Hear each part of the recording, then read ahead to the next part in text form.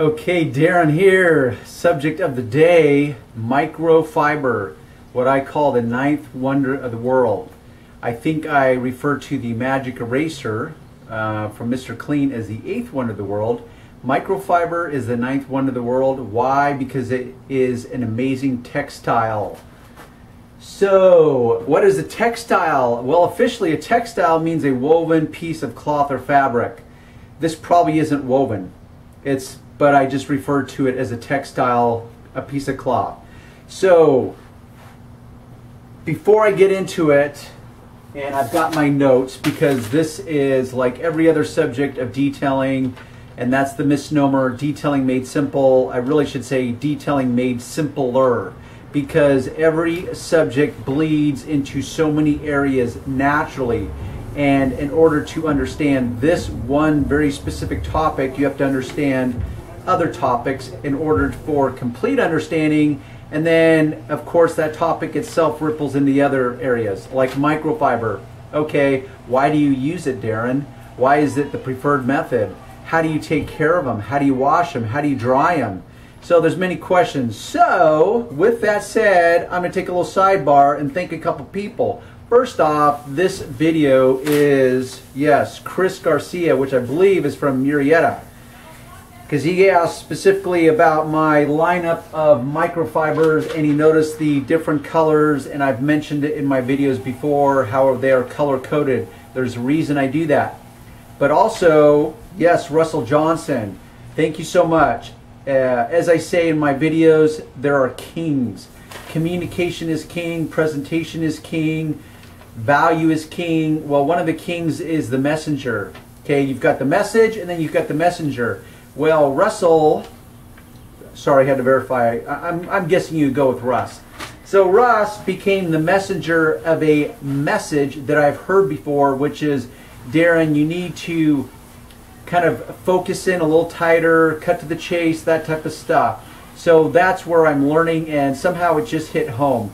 So with that said, is that microfibers themselves, and I wanted to make sure to give credit to Russ, because I really appreciate all your guys' comments and questions because it's stuff that I would not think of naturally because I've been in the business so long that I uh, forget what it's like to be a beginner and forget what it's like to try to jump in and make that leap of faith into the world of professional detailing. And I think, Phil, you asked how, at what point did you, do you get to call yourself a professional detailer? Well, the second you get paid for a job, you officially can call yourself a professional. It's as simple as that. There is no uh, true um, license or anything else that will make you a professional. But officially, once you're paid to do something, professional status. How about that? So microfiber, complex subject because there's so many variables.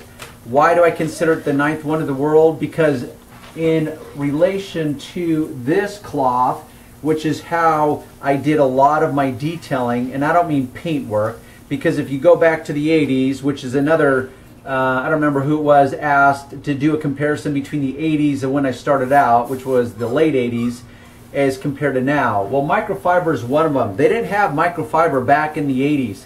We had terry cloth and we had baby diapers. Baby diapers reigned supreme they were the the ultimate as far as smooth and you would use nothing but a baby diaper on your car paint. Well those days are gone. Throw out that old thinking that old wisdom. Embrace new uh, technology which is microfibers. Okay so this is not meant to be a comprehensive video. I'm going to dissect this into little segments. But with in in uh, regards to Chris, I want to make sure I address the issue. Specifically, you'll notice that I have different colors of microfibers. There's a reason they're color coded eh, or why I choose different colors. Part of that is organization. And I can identify very quickly in any instant, whether it's on the shelf or in my van, in the wash machine, in the dryer, it's like, okay, this towel is to be folded this way due to its size and due to where I have it organized in my van. This towel, due to the color, is used for these tasks only because I don't want to commingle chemicals and so forth. Because just because you wash a cloth doesn't mean that all the chemicals come out 100%. So here's my big tip for the day, which is these. Guess where I get these? I get them at Costco. I'm sure all of you have either heard of Costco or have one very close to you. Well, guess what? This is probably what I use for 80% of the work. And while, see, there's three levels. There's brand new or virgin, which I keep in a plastic bag. Even in my van, I keep in a plastic bag. Why? Because I want to protect them as much as possible from any wandering debris or dust because I use these only the most on the most pristine of cars, especially black cars when I'm waxing or taking off the wax. So this is level one. This is level two, and this is level three. So as I use these, they're so cheap by the way. I think you get like 24 and now they cost like 14 bucks for a bundle. Now, is this the most superior microfiber cloth on the market? No, it's not. But it depends on what you mean by superior anyways, because they come in so many configurations. From ultra, ultra fine, like this one, which has like zero nap to it. It's very thin, very tightly woven. This is the type of uh, microfiber you're going to you're going to get with your sunglasses. And then you've got this ultra thick plush microfiber. So once again, it's hard to do an apples for apples comparison when you talk about which is better. Well, you define better or the metrics in which we define better, and then I'll be able to help you define which is the better choice. How about that? So it's, it's an area where I personally do not need to overthink because these microfibers are at a level that is acceptable and actually above acceptability because I know who I'm dealing with despite customers of affluence or more money than they know what to do with does not make them an expert or does not mean that they have a trained eye to decipher or um, discern the difference between paint that's been polished to level 10 or level 8. Most of them really don't know. Yeah, they could walk up to a car and say, wow, Darren, that looks amazing. That looks so shiny. I can't believe it. But do they know what swirl marks are? Do they know what spider webbing is? Do they know what holograms are? Most of them don't. But they know what shiny paint looks like as they walk to and from their car. So I don't need to overthink it. They're almost disposable. I do not use them and dispose of them, of them though. I rotate them so once they go from virgin state on the most pristine cars, then I graduate them to level two, which is for light colored cars, and they have to pass the test. So when I'm washing and folding them, I visually inspect them. Before I use them, I visually inspect them. You know why? Because that's one of the few uh, trade-offs of microfiber is because they are um, there's so many fibers, I mean hundreds of thousands of little fibers, it's so fine that they will, that anything that touches them, debris, like, uh, you know, tangible material that's unwanted, debris, dirt, whatever, it sticks to it, it clings to it for its very life, and it's hard to remove it. So you have to take special care in washing and cleaning these and just using them. That's why I do a visual inspection on them each time before I use them. They hold on to every piece of lint. You have to wash them separately. For example, if I was to wash these two cloths together, this cloth would come out of the wash machine full of all the lint that sheds from this cloth.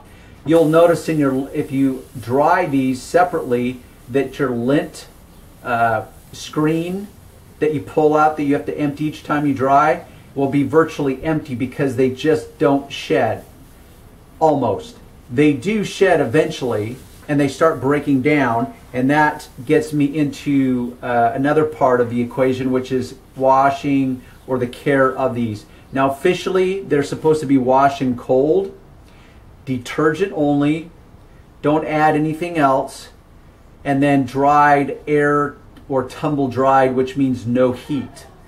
Do I do that? No, because I don't overthink it any further. Because I know that I'm going to reach for a virgin microfiber when it comes down to a car that's that critical or in that perfect or pristine condition where it really will matter.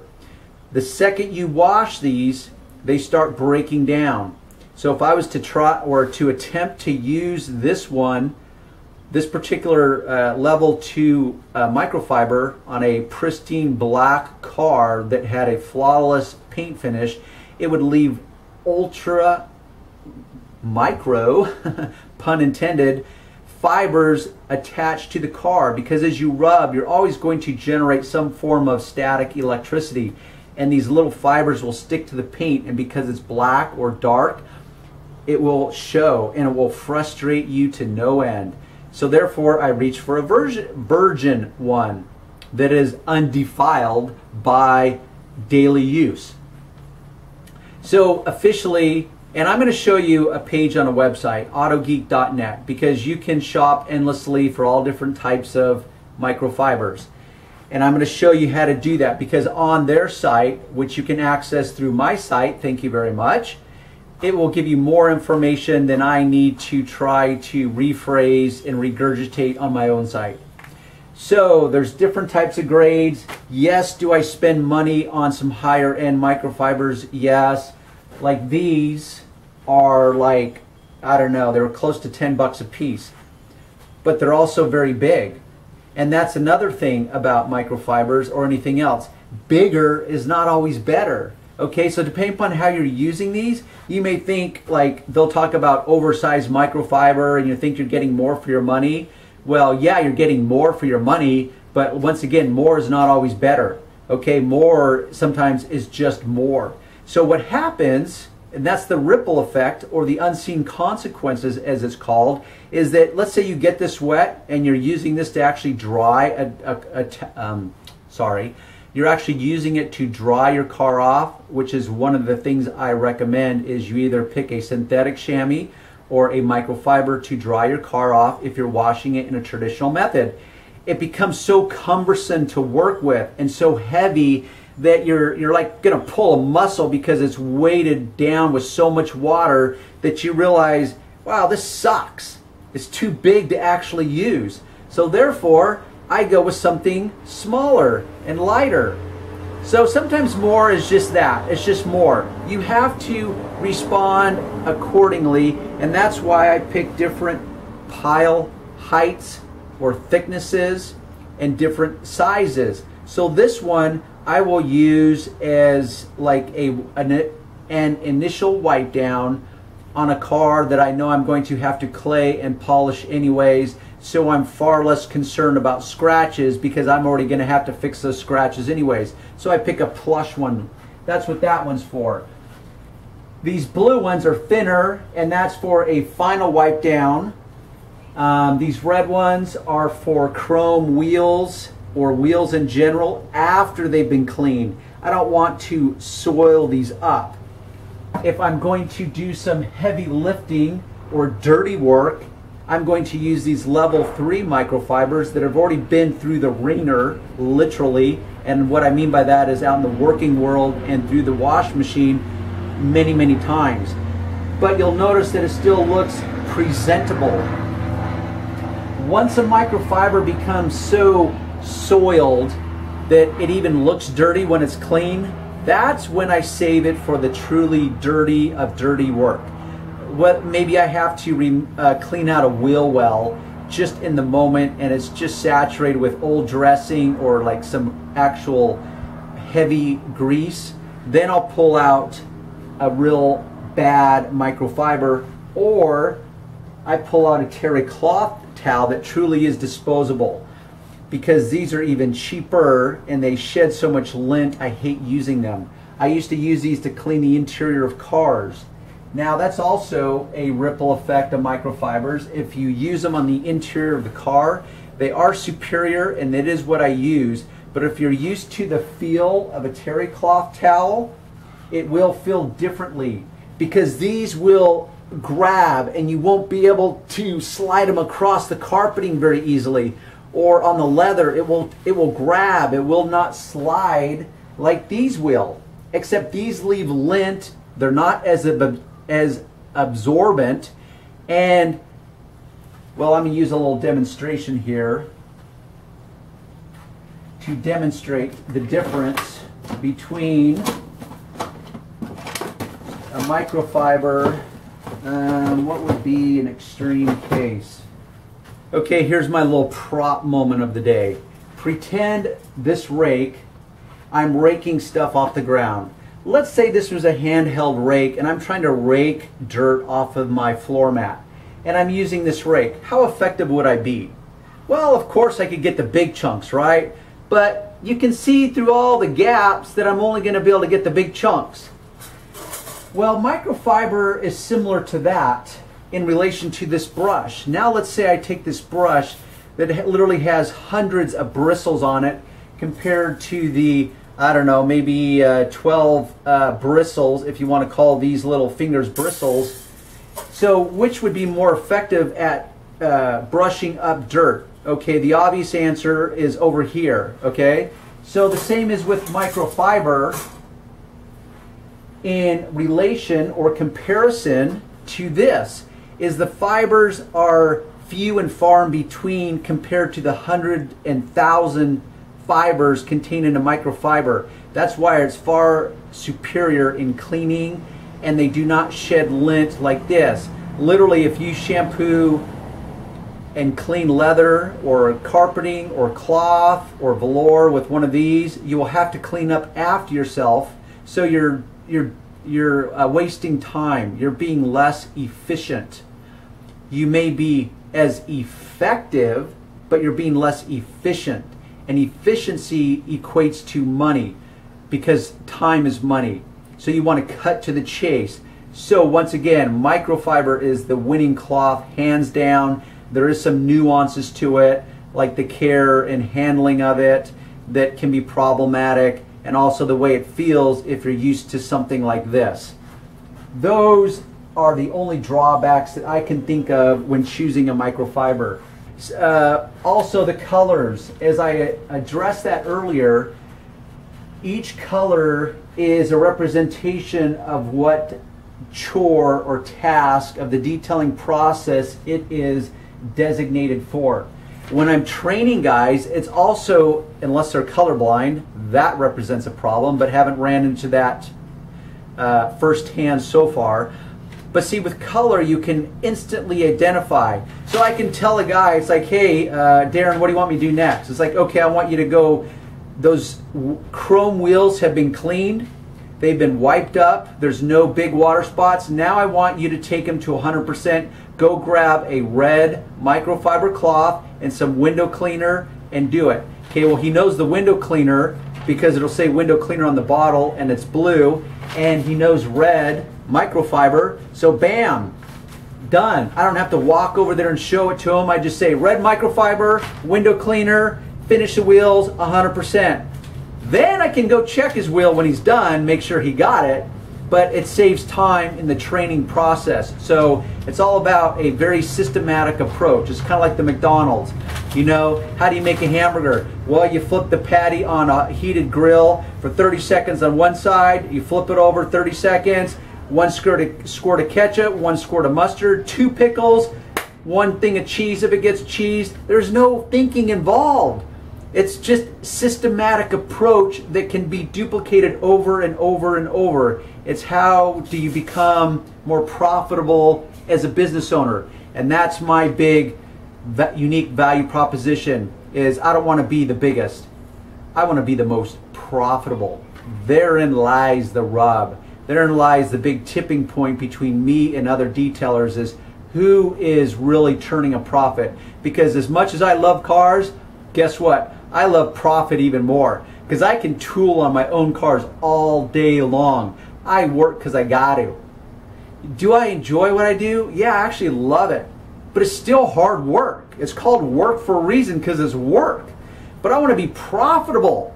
So if I'm going to do it anyways, why not figure out how to be as profitable as possible and as smart as possible? Working smart, which is another question that uh, I was going to get at with you. Uh, sorry, I keep forgetting. I got so much on the hard drive. Russ, sorry, is, and I'm going to make a separate video on this.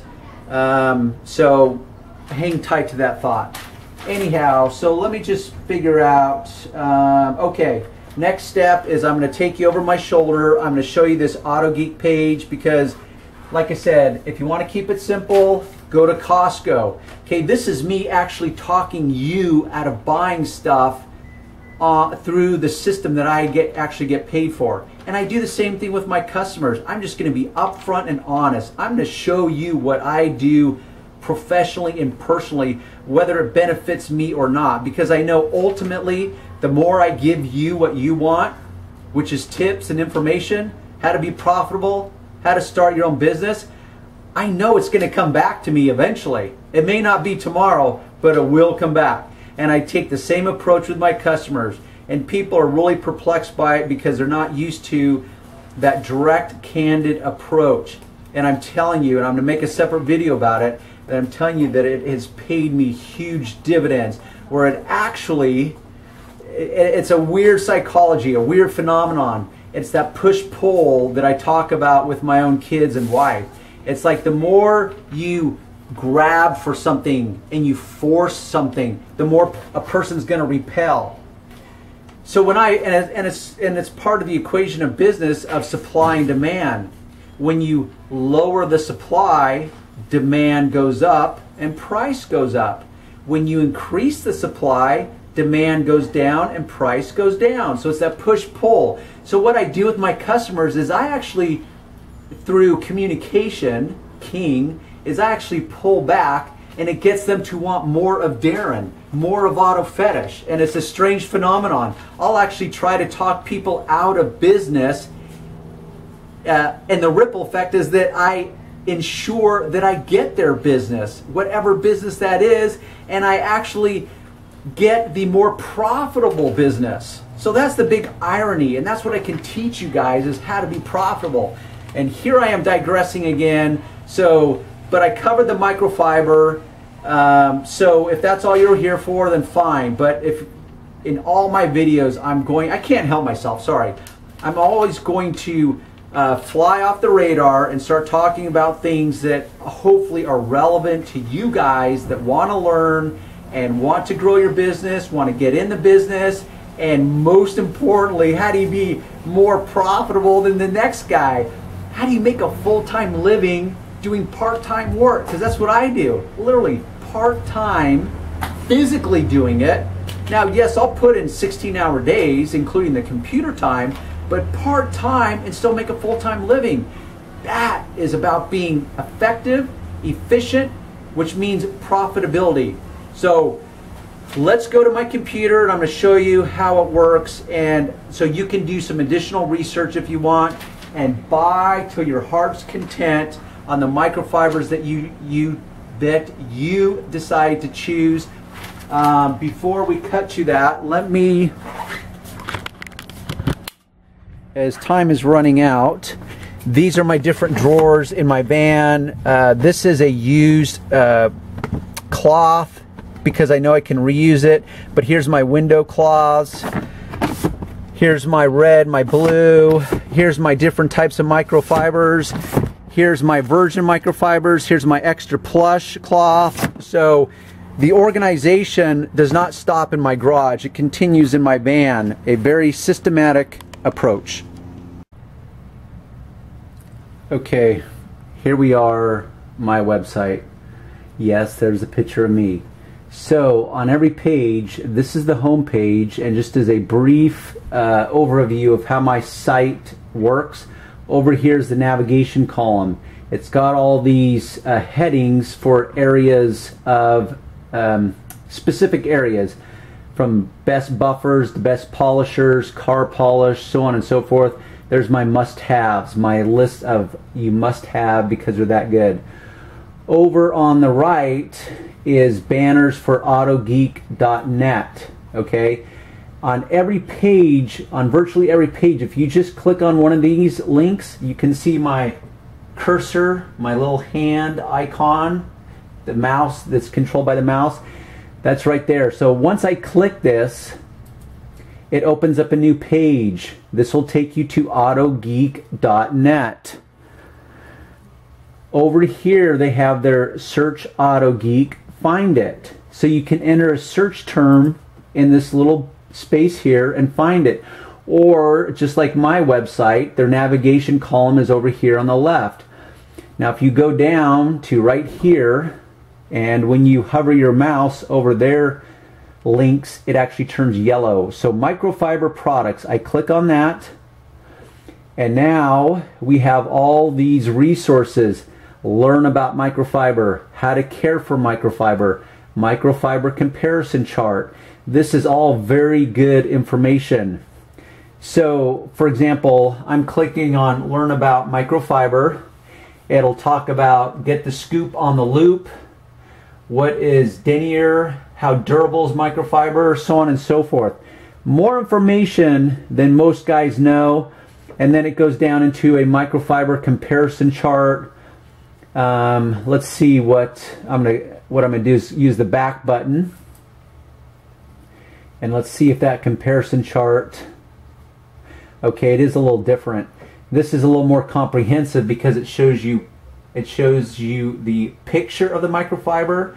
It shows you how big it is. And remember I said sometimes uh, big is just big. It's just more. So more is not always better. More sometimes is just more of. So you have to and and part of this will come from experience, you know, and based on what you're trying to accomplish. So I also pick and color code my microfibers. You may choose a different system. For example, uh, as the darker or the grimier the work is, I generally go with a darker colored microfiber because as it goes through the wash machine, like this black one, it's going to hide the dirt that may be stained in the process of using it. So that's also one thing. And then there's just some common things like blue tends to be associated with window cleaners, even though I use green personally. So you'll come up with your own little system. Point is, is here on autogeek.net, there is lots of useful information how to care for your microfiber. They have special um, uh, detergents formulated specifically to wash your microfibers in. Is it a requirement? No. Is it better? Yes. So there's good, better, and best. So definitely it's better, but it's not a requirement. So point is, is always go to my website. There will always be a link in the description box. From every page, for example, I can click on any one of these pages. So let's go to my must-haves page. Auto Detailing Supplies, Darren's list of must-haves. So you can see I'm falling behind on my uh, maintenance with my website because there's only four products here, but I talk about them so frequently it's important. Notice that we have the Auto Geek banner over here on the right. This is how you subscribe to my YouTube YouTube channel also is right here. And I also have a custom Google search box right here that you can use also to search my website for specific uh, topics. So let's say I click on Super Degreaser, it'll take me there. Now down here is a link. So if I click on this picture or this uh, link right here, it's going to open another page directly to AutoGeek's page for Super Degreaser. It costs, well, as of right now, $16.99 normally, and I actually pay $19.99 myself. So today would be a good day to buy it. Uh, anyhow, so once you do that, I get a little bit of commission. So once again, thank you in advance.